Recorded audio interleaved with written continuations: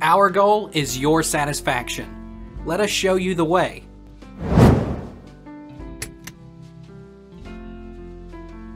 How often should I rebuild database PS4? As long as you don't panic and turn off your system halfway through, you should be all set. If you do it correctly, it's totally safe and will improve your performance. If you use your PS4 all the time, you could even do this as often as every month or two. Any more than that might be overkill. How can I make my PS4 run faster? 8 ways to boost the performance of your PS4.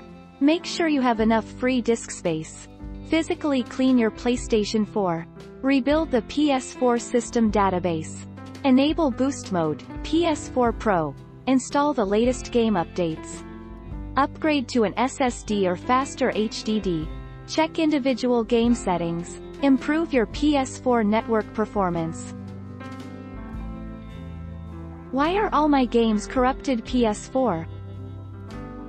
One of the more common reasons behind corrupted files on a PS4 is a power outage. If the system isn't properly shut down or there's a power surge, your PS4 may experience issues due to damaged files.